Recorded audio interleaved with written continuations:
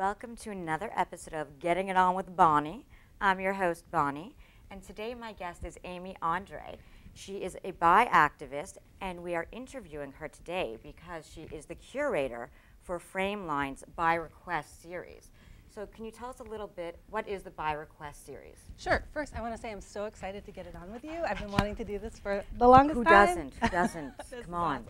awesome. um, Bi Request, yes, I'm very, very excited. It's my second year in a row curating this program. And um, basically, it's a uh, program of short films by, by filmmakers. By bi, we mean bisexual. For those of you who weren't sure, we didn't mean double. 50% of people who identify as either lesbian, gay, or bisexual identify as bisexual.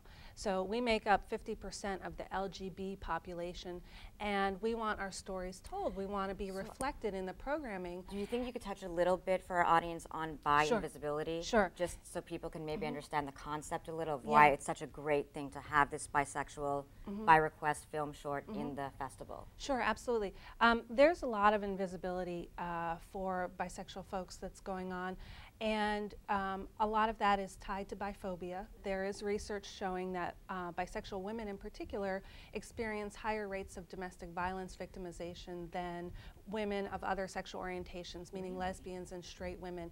And a lot of that has to do with um, biphobia that happens within The relationship. within the relationship. And then there's also the added isolation of being invisible as a bisexual Right. in the greater culture, and those things kind of feed in on each other.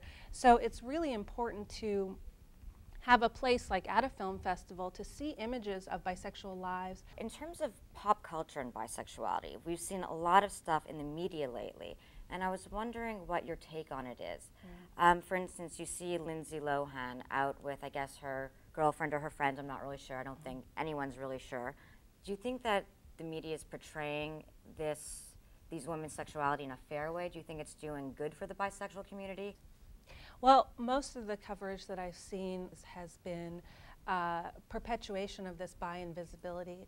Um, it's been almost exclusively reported as um, describing them as lesbians. I have It's like Lindsay Lohan's now a lesbian. Yeah, and she may be. She may have identified as heterosexual in the past and now be identifying as lesbian. I don't know because I don't know her. You should call her up and ask. Um, but it's also equally likely that she's bisexual. There's a way that the media kind of washes over that for whatever reason. Again, stereotypes about bisexuals or just not even thinking that bisexuals exist. I cannot thank you enough for being here. I've been dying to get it on with you too. Oh, same here. I've been dying.